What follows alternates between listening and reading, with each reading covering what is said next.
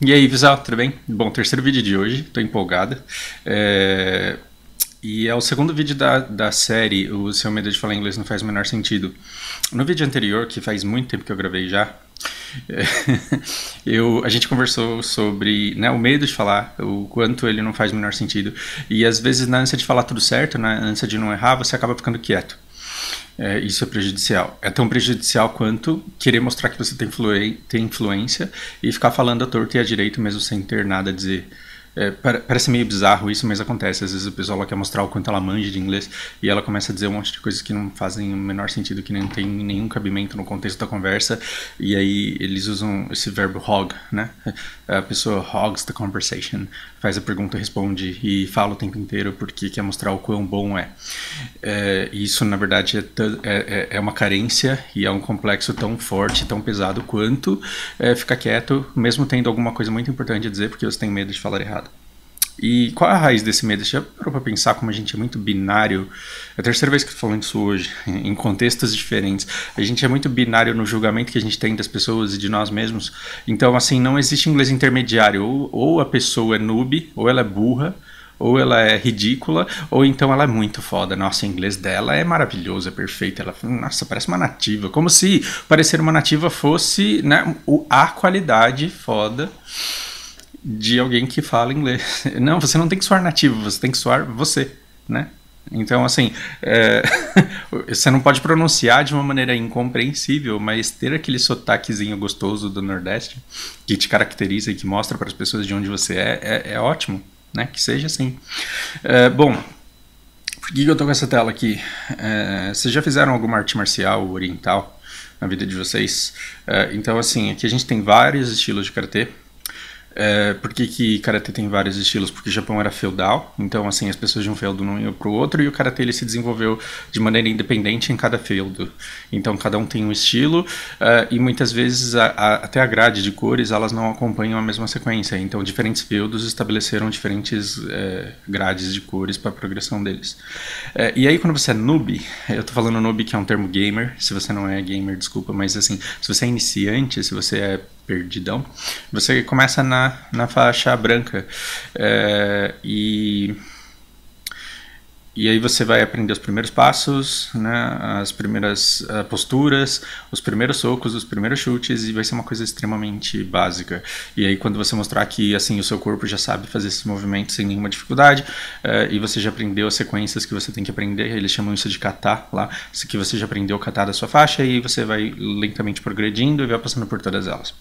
É, por que, que esse esquema aqui é legal? Porque ele sai da nossa binaridade e eu não estou falando que os japoneses são superiores aos brasileiros brasileiros em termos de julgamento de vida, pelo amor de Deus, né? Queira entender o que eu tô querendo passar. É, mas esse esquema aqui, ele sai dessa binaridade que a gente tem de que ou a pessoa é foda ou ela é uma merda um bosta, né? Desculpa as palavras que eu tenho que repetidamente usar aqui. Mas a gente tá acostumado a definir as pessoas assim, olha o inglês desse cara que bosta, né? Aquele ali é foda. Nossa, aquele ali fala que parece um nativo. e, e, assim, quando na verdade é, é, parece que essa característica de ser um bosta, de ser um merda e de ser um fodão, parece que elas são inerentes da pessoa. E não é. Na verdade, assim, você, não importa o que você faça, pode ser dança, pode ser um instrumento musical, pode ser cozinhar, pode ser jogar MOBA, pode ser, não importa é, que habilidade você escolha desenvolver na sua vida, é, você vai ter que começar do zero e você vai ter que lentamente aprender e desenvolver isso cada vez melhor. Agora, é, imagina que assim a gente vai fazer karatê e você enxerga que só existem duas faixas, a branca ou a preta. Ou você é um bosta ou você é um fodão. E aí, quando é que você vai lutar com alguém? Quando é que você vai fazer o kata na frente de alguém? Nunca, né? Porque, tipo, enquanto você não for faixa preta, você não vai poder mostrar para as pessoas como é que o seu corpo se movimenta.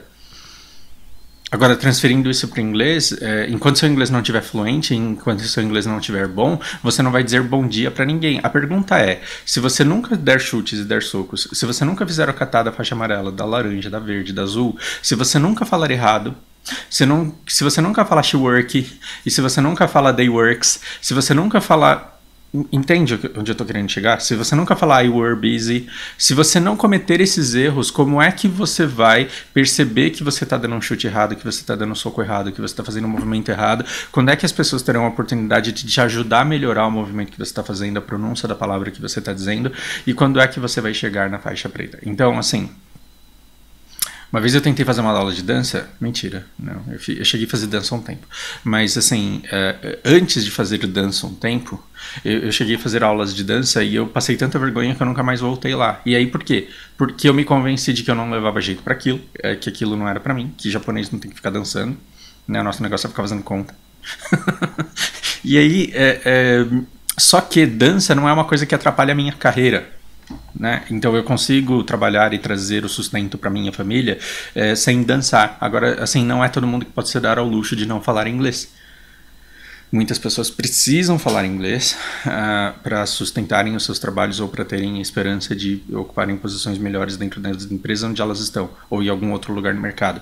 Então você não pode simplesmente se dar ao luxo de, de ir conversar com um gringo, passar vergonha e falar: Meu Deus, eu não gosto de inglês, eu nunca mais falar, vou, vou falar na minha vida.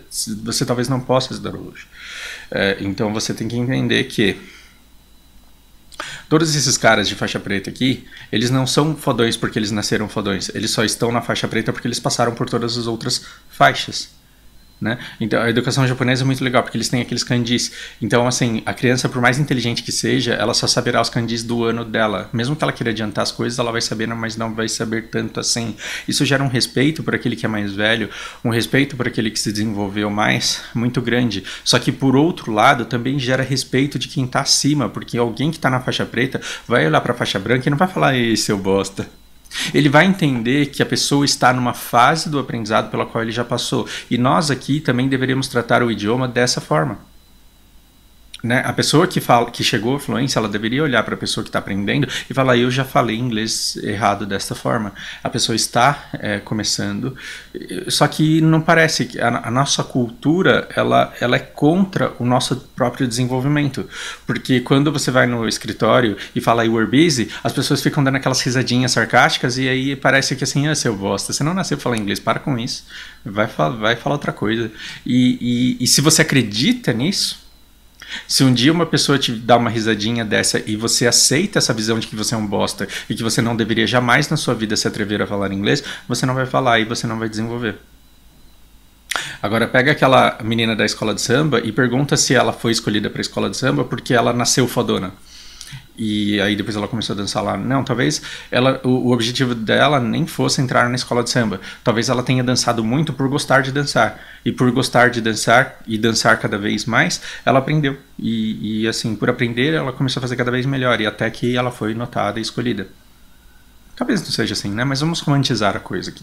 Então, é, é, é melhor que você se livre desse medo e se livre dessa binaridade de julgamento, que o seu inglês é uma bosta e você não pode falar com ninguém enquanto ele não for faixa preta. É, é melhor que você se, se desapegue desse seu problema de autoimagem, de ego, de, de definição do, da, de, de qual é o seu nível de inglês e fale por falar. É, e, e, por falar muito, comece a falar cada vez melhor. Até que uma hora você deixe de. Você não precise mais se preocupar, porque você já vai estar se comunicando com todo mundo. Se você não começar, isso não vai acontecer. Então, é, o, uma das coisas que mais atrapalham novos alunos é aquela coisa de, não, dessa vez eu vou me esforçar. Dessa vez eu vou estudar pra caramba, dessa vez eu vou me dedicar. E aí a pessoa ela fica lá é, determinada a não sair no fim de semana e a ficar sozinha na cozinha fazendo exercício, se esforçando ao máximo para que ela desenvolva o inglês para que um dia ela possa sair e usar porque ela vai ser fodona por ter se sacrificado demais.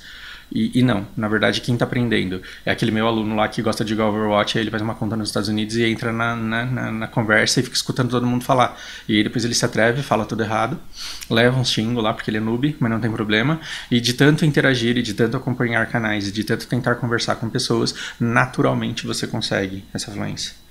Hum. Então, é, se, as, se as outras pessoas podem respeitar o estágio em, em que você está, por que é que você não pode respeitar o seu próprio estágio entender que você está nele, entender as suas limitações nesse momento e ficar ok com isso e não deixar de exercitar mesmo assim? Agora, se você me disser, ah, mas os meus colegas do meu trabalho, eles não respeitam, eles, eles, me, eles tiram sarro de mim o tempo inteiro. É, hum, então, mas isso é uma deficiência moral deles. E isso não deveria te impedir, né, não deveria impedir você de se desenvolver. Ah, mas aí as pessoas vão me julgar. Não importa. Porque, assim, uma pessoa que é um mau profissional, que está lutando pela vaga dele, que está tentando derrubar você para tentar ocupar o seu lugar, é, e que fale e que vira para você e fala seu inglês é uma bosta, ele não deveria ser parâmetro para definir o seu valor. Você deveria dar risada disso e dizer: eu não falo inglês bem ainda, mas vou falar. E você que é burro e nunca vai aprender. Nossa, meu vídeo estava tão bonitinho, não precisava ter colocado o áudio nele logo no final. Mas, mas é mais ou menos isso, espero que você tenha entendido. É... Acho que é isso, a mensagem que eu tinha para passar é essa, e eu vou tentar continuar com essa playlist aqui, aqui que eu acho que é muito importante, é, com um pouco mais de frequência do que eu tenho feito, ok? Espero que tenha sido útil, que proponha reflexões, que destrave vocês desse medo que não faz o menor sentido, e até a próxima.